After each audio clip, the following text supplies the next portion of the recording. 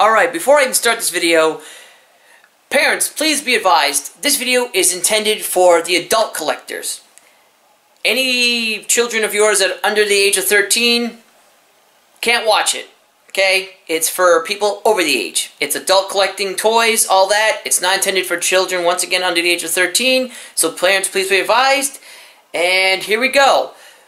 So everybody, uh, it's been quite a while since I've done a YouTube video, but I figured I would go back to it seeing how right now everything is upside down due to this pandemic.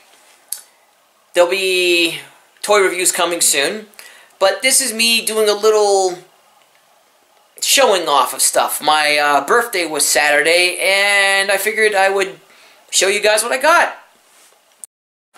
Alright, to kick it off, what I got for my birthday.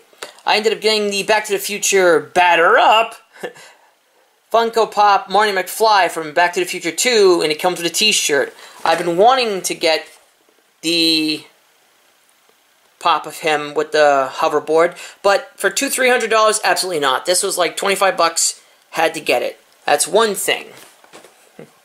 Another thing I ended up picking up for myself was the Tales from Space. It is the NECA Target exclusive Marty McFly in the hazmat suit. I found that today, actually. Open it up. Look right at him.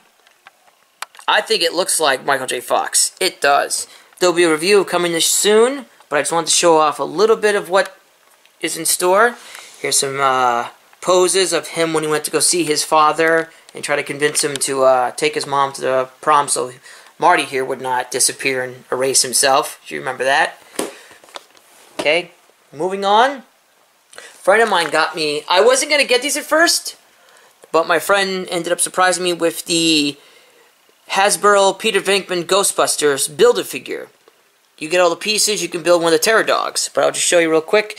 The face technology they have now going on, it's amazing, because that, it, it looks like Bill Murray. I know it's Peter Venkman in the movie, but uh, look, it, it, it's him. It's Murray. It looks amazing. A review of that will be coming soon. Quick little quick of the box and the artwork. For now. Alright, another thing was I ended up getting the Walmart exclusive Doc with Einstein. It's cute. It's adorable. I mean, look, there's a little dog in there. It looks... It's just adorable. Uh, what else? I ended up getting, finally, after waiting, the Super 7 Ultimate Thundercats Lion-O. Some of you already have this and probably seen reviews, so just going to say it was worth it. This review will be coming soon as well.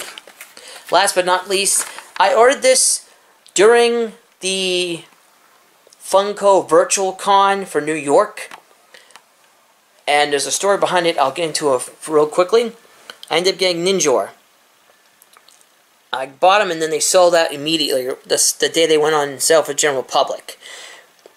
I ended up wanting the Snake Plissken one, but uh, yeah, I didn't find out the lottery until it was too late. And um, wasn't too happy with the fact that half the people who bought them slapped them on eBay for ridiculous amounts of money. But I'll just put this out here. If anybody wanted to get a Ninjor and didn't get a chance to, here's my proposition, or here's what I'm saying. If you're willing to trade with me and you have a Snake Plissken, I will trade this one for your Snake Plissken. Once again, if you are interested, please contact me, message me, and we can talk. Well, there you have it. That's what I picked up recently that's it for now. Uh, please like and subscribe. Um, once again, videos are coming, reviews, so just please stay tuned. Thank you for the people who have stuck by me and have supported me, and that's it for now.